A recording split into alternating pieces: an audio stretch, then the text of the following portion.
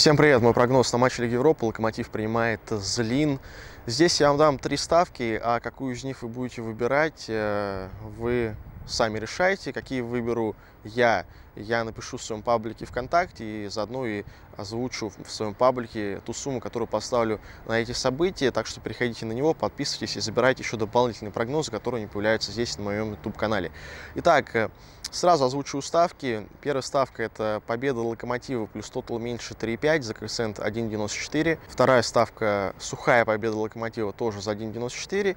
И э, третья ставка это то, что Локомотив победит через фору в полтора, то есть два и более мячей коэффициент там уже 2.06. Итак, обе команды, они достаточно низовые, там в матчах Злина э, во всех матчах э, проходит тотал меньше 3.5, во всех матчах домашних Локомотива в РФПЛ тоже тотал меньше 3.5 проходит. В первых турах обе команды сыграли со счетом 0-0. Естественно, Локомотив команда выше классом должна одерживать победу, причем в каком они бы составе не играли. Победа обязательно нужна и важна для Локомотива, чтобы дальше играть все-таки встречаются с командой аутсайдером этой группы.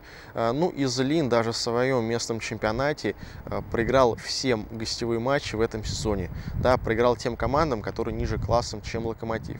Но в свою очередь я не думаю, что Локомотив забьет больше трех мячей, потому что команде тяжело даются голы в последнее время. Опять же, тот меньше проходит постоянно.